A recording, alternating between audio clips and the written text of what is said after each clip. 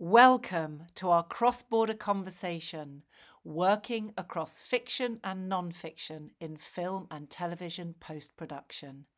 How can you gain experience and recognition in both arenas? Thank you to our partners Genelec for supporting this series of talks and Brunel University London for technical delivery. So I'd like to hand to the first speaker, Ana, to take the conversation away. Thank you so much. I'm really grateful for having me. And it's always such an amazing topic that you don't have one answer for this. So it's really interesting. I'm a film and TV editor from Poland, based in London. I went to film school in Poland. I used to live in America for a little bit and in France. So I travel a little bit. And I'm an editor that cut who cut everything. So there's, I think, um, uh, documentaries, feature films, trailers, short films, reality TV, everything. You can have amazing stories in documentaries. You can find amazing stories in the news, and obviously in drama. My name is Santi uh, Santiago. Uh, I'm originally from Spain. I was uh, working as a freelance video editor for like seven years since I moved to London in 2015. And in that time, I did like more like commercial, um, corporate, I would say, live live music. And then after seven years of doing that plus other artistic endeavors, I decided to focus more on film and TV because it's a quite a different world. Now I'm currently working as an, as a media and assistant, edit assistant operator and in a post-production house, Evolutions, here in Bristol. Hi, my name's Richard. Uh, my pronouns are he and him. I'm a black man for um, those that need to know. And yes, I'm a composer. Um, and yeah, I work, I've done work in corporate, um, art installations, documentaries, and started doing stuff with fiction, doing short films. Um, so the way I got started was um, a director that I met in at uni. Um, let me loose on one of his documentaries, um, which was about carnival, actually specifically about people that made costumes for carnival. So that was the first thing I did, and then yeah, did a number of projects with him, some of them which um, were used by the Museum of London, and yeah, then recently started doing the fiction I'm Natasha. I'm also a composer. Um, my pronouns are she, her. I'm a white woman with uh, shoulder length brown hair. So, as a composer, I started off um, actually in the classical world. I began um, as a clarinetist and pursued classical training in that avenue and then moved into composing um, and then later on into uh, film and TV composition. So now I work um, I've worked mostly on short films um, in both fiction and non-fiction, um, but I still keep up my classical um, composition as well. So a wide variety of things. And what I found with doing like you know the factual versus fiction, obviously like the characters that you have a much stronger. Also, you know within documentaries there are going to be characters within that that are part of the storytelling process but obviously within fiction they're much stronger and you have there's more of an identity i guess around them. I mean definitely musically as to, as to what you would do to uh, sort of identify with those characters. I mean i went from doing one of the clips that we'll see at some point is one called tough blood. And that was about sickle cell. And so i was listening to lots of people talking about the the pain of of this disease. And then the, the first fiction project i did was a, a comedy. So so that was a bit of a baptism by fire you know trying to work out like like how how to to go around that one. I watched must have watched every dark comedy there was to try and kind of prepare for that. And and in the end it was like you don't try and be funny with the music you just try and tell the story and just kind of lean into that more so than trying to be funny as such with like musically.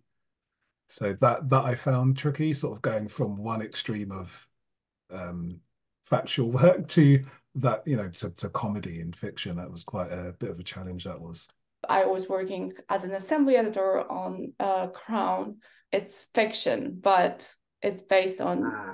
documentary right? So so i thought that you know that this was actually the best example that uh, you can see totally different ways of of cutting the scene um, that you can uh, what you can get from the rushes. Thank you. Three, two, one. Sir, thank you. Three, two, one. William, keep smiling, darling. Three, two, one.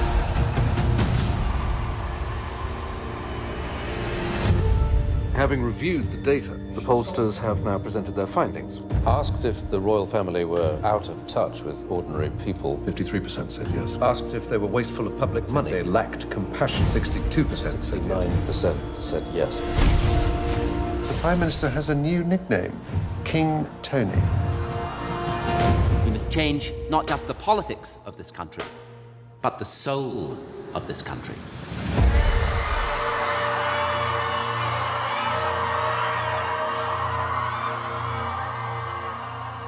Boys need you now more than ever. I'm afraid we don't do fathers and sons very well in this family. Perhaps you don't like to be reminded how we got to this point. You can see the same stuff, very similar from BBC archives that that were captured by uh, by reporters. And as a, I guess, news editor, you would cut basically, you know, you have to tell the story. Okay, there is a prince, he's coming out. There are lots of uh, of his young female fans, uh, and everyone is shocked. And you know, even as a so from the news, you would obviously you would have some voiceover. You would be probably more interested in these girls because this is you know what people are interested in, and this but for a, from a documentary you would still look for the emotions right so you, you would still look how he is even if that was a documentary because this is a fiction right? But as a documentary editor i would still look to make some emotions. I would still try to find even if i didn't have it because you know my dop cinematographer didn't catch it i would look maybe we have something later or something uh, before or you know just one moment or even in a different day that he is like really upset about it and shocked you know and and just being lonely. And i think you know this is outcome of the scene when you are trying to cut the scene what you can get from the rushes. And this is why of course uh, you know you the the meaning of this was showing someone totally overwhelmed. I'm just curious on the documentary bit like how do you because i guess in, in fiction it's more like scripted no? So you have a script to follow do you have such a thing more with documentaries or there are different kinds of documentaries? Because i guess you have like a general maybe story that you want to tell but documentary is a lot uh, more like open i guess. Yes and i that's why i think uh i i just think that editors documentary editors are amazing storytellers because very often they have it or not they just have to make it. Make it happen the same also reality shows and usually yes you have the script you have an idea but reality is you have no idea because you know especially when you uh, shoot something for a long time you just didn't even know the outcome what's going to happen. If you are like uh, shooting as an observer it's difficult to find out uh, what's going to happen. But yes you want to have a story and when you see like when you watch like today's netflix documentaries they really look like uh like you know like proper yeah. right? and i think the best uh thing that i've learned in my film school was my documentary teacher um an old lady uh, who was uh, also working with Kieślowski. And at, even at this time, like, you know, long, long time ago, she said that that you want to cut documentaries that they feel like drama, you know. And I think this this is such a good, good, um, good rule for good advice. One thing that I learned from doing like documentary work, especially working with Stephen, was um, people assume that you get a picture and then you write the music to it and then you you go back and forth a little bit and then it's done but um, often they'll they're changing things while you're writing it. so, uh-huh. and then that's always fun. Um, I mean, we can have a look at a clip um, of a project called Tough Blood. So that was originally a kind of installation but live performance. And so I originally had to go and write with the people. So it was like a collaboration. Um, so it's kind of part documentary, part performance. As like a dancer, choreographer, and director. There was images projected on the screen. And so I had to write while they were creating the the choreography because they wanted it to be collaborative. So I did a lot of it that way, and then I kind of went off, wrote a bit more, sent it back. I'd see what they were doing, and then they I'd, they'd say, "Yeah, that's great, cool," and then they would then say, "Oh, we've just taken this little bit out that you just composed." So you'd have to kind of keep like chopping things around, and that that was really good training for sort of working on fictions where things are changing and learning how to sort of reconform things and, and work in that way. If it comes in your chest, it's like your chest is on fire. I can't break it down into words. Not literally fire, it just feels like something's just constantly just ripping at your chest. Like keep just it's like they're pulling it in back and pulling it out and in your chest. So it's like your chest has been ripped out and then put back in again. So it's just so you take a painkiller thinking, oh my gosh, it's going to help. When I did that one, Stephen um, tends not to like very overt emotional statements musically. So I kind of had to kind of do emotion by stealth and kind of sneak some strings in there. And, you know, it's like by the end, it's like, where'd that quartet come from? You know, um, one of the things, you know, you look out for and you look out for little cues. And it's the same thing with story, you know, fiction is looking out for clues to kind of help you when you're composing so one of the things was um, uh, one of the um, the young women was talking about that she would want to talk about um, having sickle cell, and people often wanted to kind of change the subject, and so I kind of wanted to kind of bring out that a bit more, like make sure they were heard and like the emotion of it. So that was kind of important to me, and it's kind of those little clues you kind of look out for that, like a storytelling points that you can kind of use musically when we opened, we, we weren't able to get into the building until pretty much, well, I wasn't until they opened it. And um, I kind of went in there and there was no ceiling. so the acoustics in are horrible. And so I basically had to, luckily I walked to my laptop and I had stems, say the individual parts of the music. And so I had to basically mix it again about an hour before the performance opened because it was just it just didn't sound right. So it was one of those situations where you didn't have time to get stressed because you were just too busy trying to trying to get on with it. But that was an interesting one to do because with that one it was kind of establishing, I guess, what sickle cell is, some of the people that were involved, their experiences, and then looking at outcomes.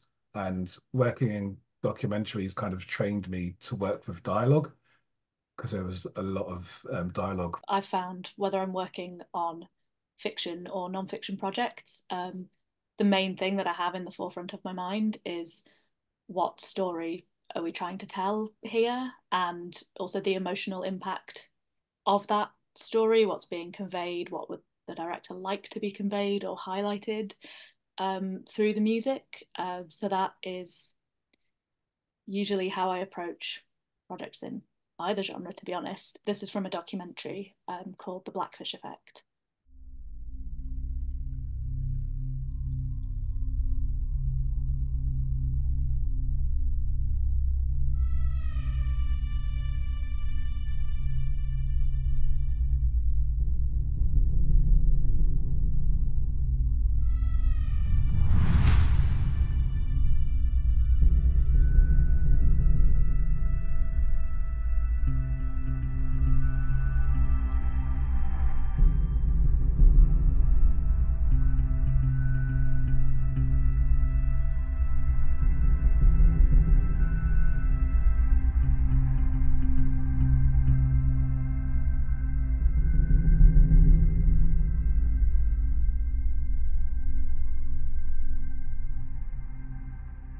that um, documentary was about the impact of another documentary, it's a little bit meta, um, about the impact of the documentary Blackfish uh. on um, the kind of sea life industry. That's not really the right word, but you know what I mean.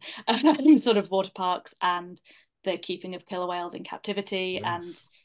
um, it included a lot of, um, as you said, Richard, there was a lot of talking.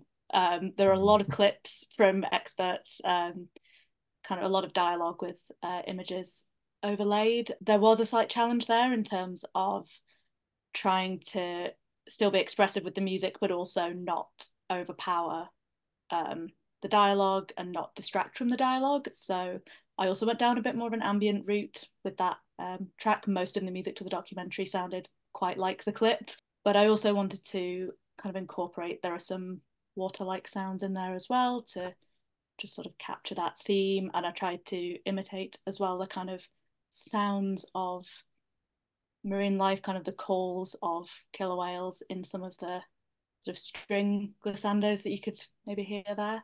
Yeah, yeah, um, definitely got that. Yeah. Uh-huh. So that was kind of the atmosphere that we were trying to create with the with the score to that one. And again, it was um, an interesting project to work on. The um, edit kept changing. Um, as composers, we can be brought in at various different points um, in a yeah. project. And for this one, um, I was brought in while they were still finalizing the edit. So there was a cut that I originally started working on, and then a new version would arrive, and maybe some scenes were changed or added or removed, and you have to kind of be very flexible then with um, the music. I was gonna say, how long did you have to work on it in the end? Um, that one was a pretty tight. Let me think. Sorry, it was a few years ago. I'm trying to remember.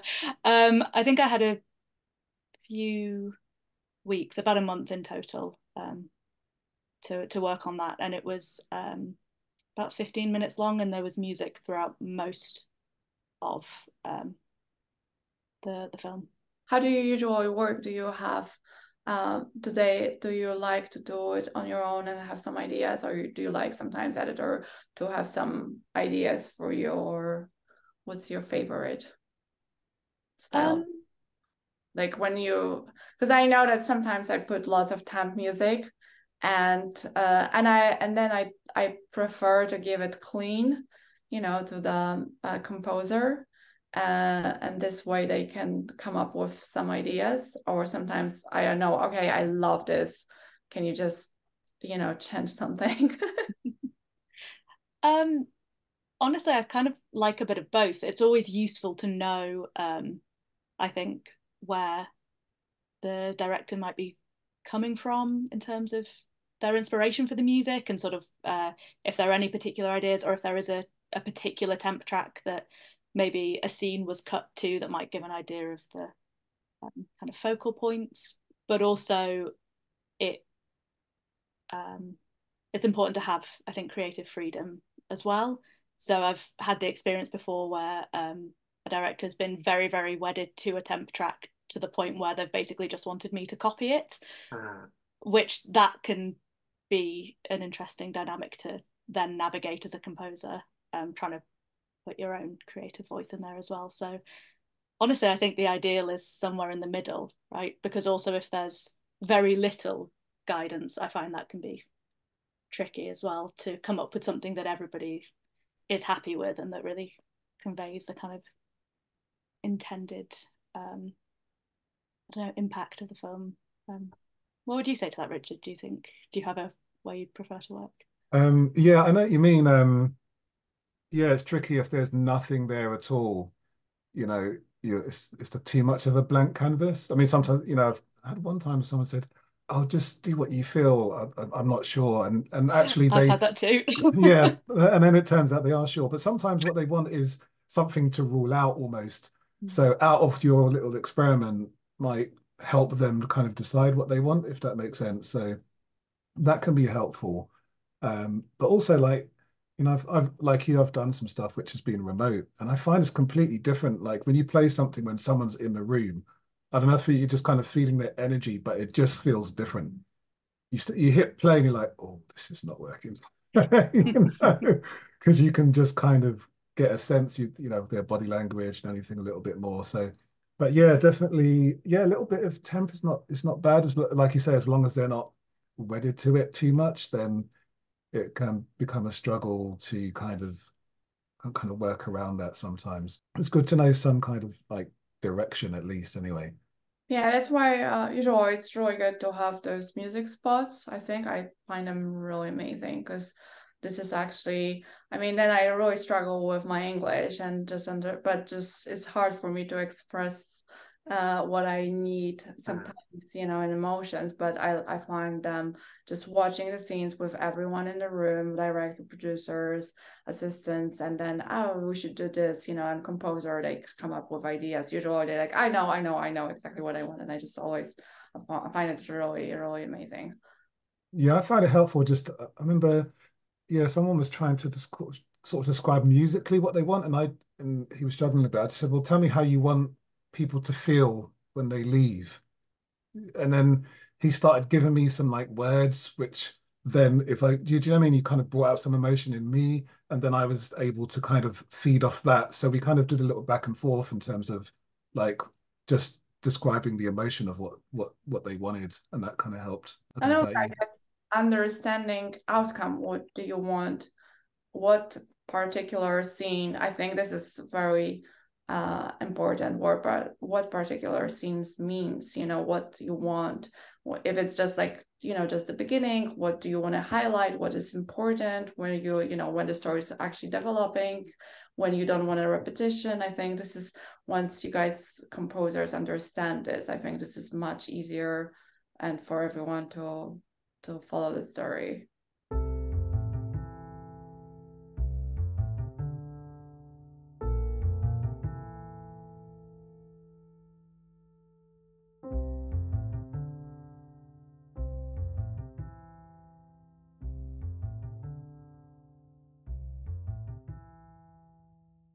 So that was from a fiction project that I worked on recently, um, which was called Souffle. Um, and it was about two best friends, um, one of which had just gone through a bad breakup. The other one was supporting her. Uh, the friend who had gone through the breakup was panic baking souffles, hence the title. Um, so it kind of it had a few more serious themes, but also there was a lightheartedness to it. You really got the sense that these two characters um, were very close. They had a kind of easy, jokey sort of manner between them. And it was a very intimate setting. Everything took place within a flat um, just two rooms of a flat, um, and just the two characters. So it, I really tried to emphasize that with the music. It's a much smaller scale. The um, especially if you compare to my last track, um, there are nowhere near as many instruments, um, so it's a lot more kind of pared back, a lot um, closer.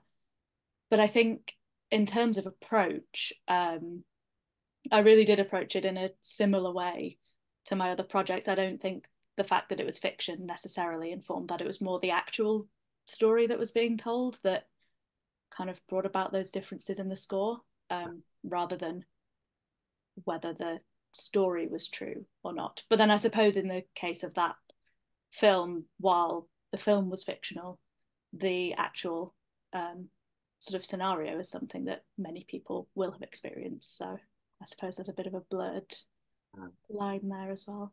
The next clip we're going to look at was called, um, it was again another installation, which was then made into a, a short film called Black Men's Mind. So Stephen is, uh, I'm going to get his title wrong. Is he a psychotherapist or psychologist? I've forgotten the actual one.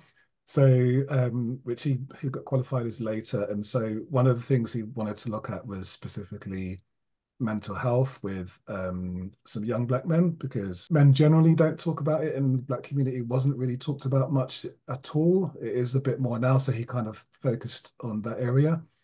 Um, but this was like pretty much wall to wall dialogue, so it ended up being very, very um, textual because it was just trying to trying to find ways to kind of do something without doing too much and drawing attention to, uh, away from what was being said this guy is talking about um, when he was going through a schizophrenic episode and having this out of body experience. It's horrible. I could see and hear the things I was saying and doing. I couldn't stop it. Like there's two people experiencing. I was experiencing like an inward me, and the outward me was stepping. It was the outside guy. What's going on?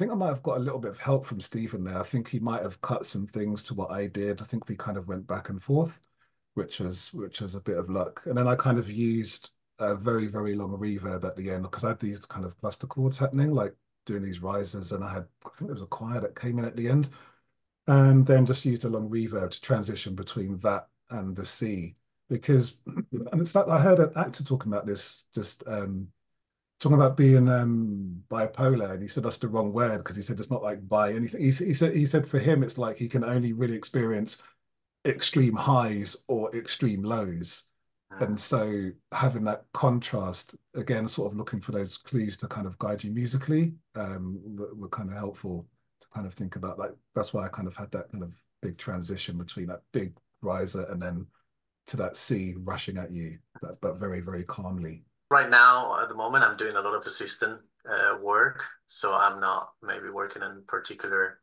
uh, i haven't been editing so much. So i had this really big sense of like i want to try and make documentaries and i wasn't sure still like how do i get into editing documentaries? How do do i make documentaries? What do i do? So i just got my camera and and found two friends that really inspired me that were living in a in a boat in the London canals, and I just did like a little film portrait of them. My first boat was when I was 19. Then I moved on land for a bit, and then I needed to go back on a boat. I just knew that I had to.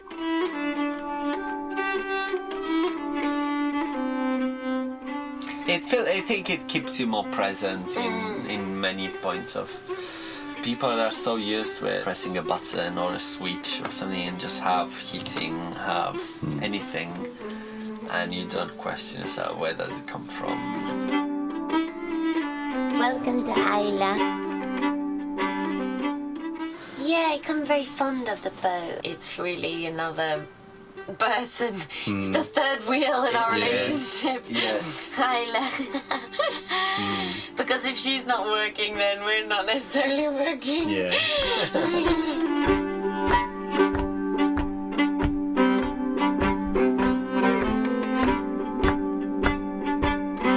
You speak to a lot of people they say, "Oh, I can do that." I think everyone could live on a boat. Mm, yeah. And once you get into that rhythm, you'll just love it. Mm. I think. Yeah. That was kind of my. Uh, I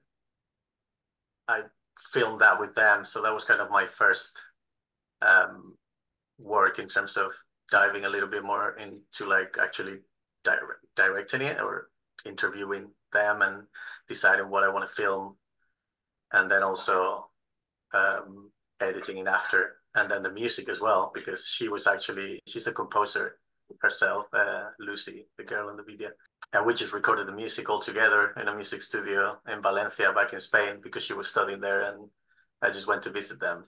So it's all really, uh, I don't know, handmade, like made at home, like we would say in Spain. but I really liked it in the end. It was really lovely uh, to make it and it did really taught me a lot. And it was actually quite difficult because you don't have any directions, as you said, Natasha. Like it was just me wanting to make a portrait of them, but I didn't have anyone telling me, oh, this is what I want, or this is the feeling I'm going for. So I remember having a lot of time just in front of a computer once I was going to edit and be like, like, okay, what do I do now? It was a bit overwhelming, but it did help me a lot to learn how to make decisions and get rid of things. Like sometimes, you know, you get attached to certain parts of the film and at the end you have to be really strong and be like well it's actually not working with the whole thing. So even though i really like it uh, it has to go. So when you so you did that one on your own. So when you came to work as a director did you find that you really appreciated having that somebody else to kind of help you with like yeah i mean that's something i always had as a like working in corporate or even even like music there's always a story as well like you know a promoter that wants to tell a certain story as well or things like that or or just the the musician itself or the, the band. So I I was more used to that. So suddenly going to a project that is like, well, okay, I filmed it, I I'm gonna edit it, I'm I interview them, and it's a bit like, yeah, where do I want to go with this? So it makes you ask yourself a lot of questions. Now I'm I'm working, I would say, more in a technical role as an assistant. So I'm learning loads, and I'm learning a lot about the process of film and TV and how to how it works. You know, assisting actually is helping me a lot to to see uh, which I guess I can see. Everyone told me when I wanted to go into ed editing, I was like, oh, I want to edit film and TV. They were like, yeah, you're you're gonna have to assist. I was like, why? Like I've been editing, uh, and now being assisting, I'm like, okay, yeah, like there's there's more stuff that is useful to see before you actually jump and dive in, which I'm sure you can do, and then struggle in the first project or two a lot. Uh, and then get, get fired. yeah, yeah, probably you'll have quite traumatic experiences at the beginning if you survive. Um, so yeah, I'm really liking that as well. Um, and it's a different way of seeing things. Like you see them working and you catch up on things that they're doing. Like I can see myself watching it now and being like, oh, and also because I've been familiarized with the footage and I've been ingesting it and I've been labeling it and I've been doing all that. I'm like, oh, they went for this, but not for this. You know, this is not, this didn't make it in there. And I kind of wonder the decisions why. And, and if I can add something, um, the best example, uh, we spoke about it, um, that Zone of Interest, uh, it's a new movie. The cinematographer who is Łukasz Żal, it's a Polish cinematographer. He was a documentary cinematographer and he had a break on Ida, it's Oscar-winning Polish film uh, directed by Paweł Pawlikowski. And every break, when you try to achieve something new, you know, you just have to go with the flow and just follow your passion. I think every story is amazing. And no matter if you are working on corpo or documentary or short films, every just do your best job just tell the best story you can and hopefully this will pay off because your director who just cut this short film is going to get another break and then they will take you with you so i think no matter what just doing something uh just cutting or composing music i guess makes you more experience and i think you can learn from every little thing so just don't give up and follow your dreams. I mean it's easy to say. But yeah. Right now i'm in an assistant place so i'm still kind of wondering about where should i go next or how will i manage when, once i start you know editing and and working in different kind of genres. But I would say, yeah, just just be open and just don't be scared of. Maybe like sometimes you even need to push yourself a little bit more because it's easier to stay with the same thing. So sometimes even if someone comes and says like, "Oh, you want to do this thing," and it's really different, sometimes it's a bit like, "Oh, I don't know," but just just jump. I'd just say lean into the versatility. I think um, it can be very easy to think that um, in these industries everyone has to have one thing that they specialize in and that um, that's the only thing that you're allowed to do. But actually i think being able to work across lots of different um, genres and areas of the industry is a strength. So i think it can be important actually to embrace that and emphasize that there are lots of transferable skills across many different um, areas of the industry. So yeah embrace it lean in I try to put say, if I contact someone, it's what you want to do is do like a specific reel for whatever project that they're going for. So try and find something within what you have that is like appropriate for their project. So you could have like different reels, or initially what I did was well, I've got my private page with things I can't share publicly. I put certain things at the top so I contact someone and I go in there and reshuffle things. So whatever was most suitable for their project appeared at the top.